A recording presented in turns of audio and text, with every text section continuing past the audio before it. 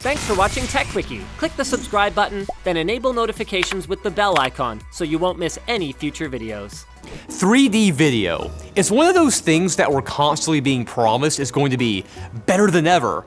From Hollywood blockbusters that you have to pay an extra 7 bucks to see in RealD, to the Nintendo 3DS, which works without even needing those dorky glasses. But the consensus among moviegoers and gamers alike is that current 3D offerings are more than a little bit underwhelming, with words like unnecessary, distracting, and Sorry, nausea-inducing, used to describe the experience. So why is it in 2017, nearly a hundred years after the first 3D feature film hit the theaters, that 3D consumer technology is still so terrible? Well, it turns out that the human brain is pretty hard to trick into thinking that something is actually real and immersive, when it's really just a projection on a flat surface. You see, when we look at an object in the 3D space of the real world, our eyes are just trying to focus on that object alone. But when we're looking at a 3D movie or a video game, our eyes need to stay focused on the screen while they're simultaneously trying to focus on the object. Now because the virtual objects look like they're somewhere between the screen and our faces, it's not something we're at all used to doing in the real world, and it's a very tough problem for our brains to figure out how to resolve. And of course, the sharply defined edge of the screen doesn't help the sense of immersion either, meaning the resulting 3D image looks less than realistic. And that's also where the queasiness I mentioned earlier comes in. So let's talk about some of the problems that specifically affect movies. The RealD branded 3D system that you commonly see in movie theaters works with dual projectors and glasses that polarize light in different directions for your left and right eye. So each eye gets a slightly different image to fool your brain into thinking that it's seeing something three-dimensional.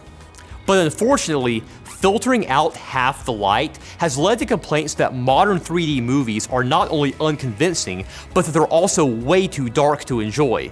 So given the price, a little buyer's remorse is understandable.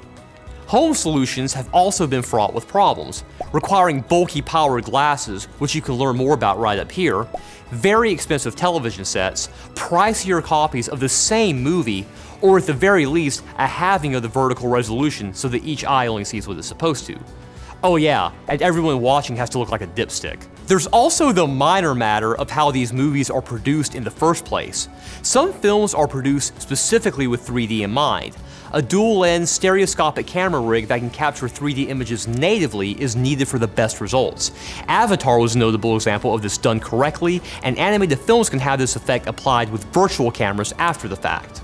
Now, although doing this doesn't eliminate all the problems associated with 3D, it generally makes for a more pleasant experience than the many other films that were actually shot in 2D and cheesily converted to 3D later on. You can think of this a little bit like how video games ported from console to PC are so often disappointing, which you can learn more about up here. Well, except a little worse. And speaking of games, what about the 3DS?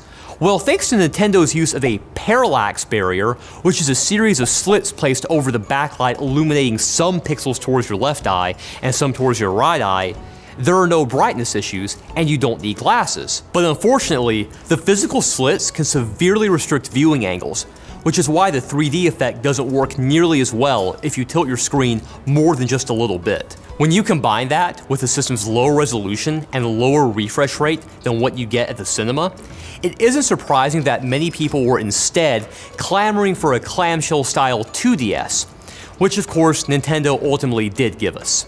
And desktop PC gaming in Stereo 3D had a similarly short 15 minutes of fame in the form of Nvidia's 3D Vision, which required a supported monitor, a supported graphics card, specific glasses, and validated games for the best experience. So it's probably not surprising it didn't take off. Now with that said, with the rise of high quality VR headsets like the Oculus Rift and HTC Vive, consumers are beginning to enjoy 3D experiences at high refresh rates without flat projection screens that fill their entire field of vision, helping to alleviate some of the issues we've discussed. But with VR tech still attempting to catch on with game developers and other content providers, I do wonder if we'd just be better off waiting for someone to invent a real life version of the Star Trek holodeck if we really want convincing 3D. And speaking of three dimensions, are you ready to add a new dimension to your browsing experience?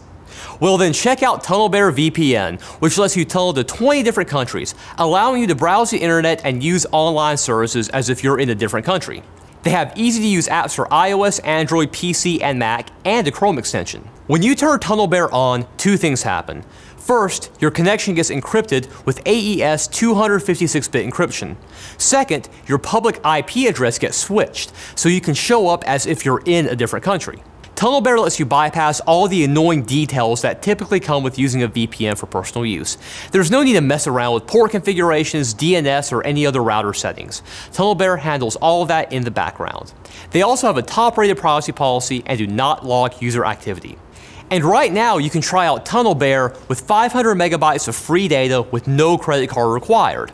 And if you want a 7-day free trial, just head over to tunnelbear.com Linus. Alright guys, thanks for watching this episode of Tech Quickie. Like, dislike, check out our other channels. We're always doing super fun things over on channel Super Fun. And leave a comment with your suggestions for future videos. Maybe you want to hear more about tech that does work well, that isn't horrible modern 3D or whatever.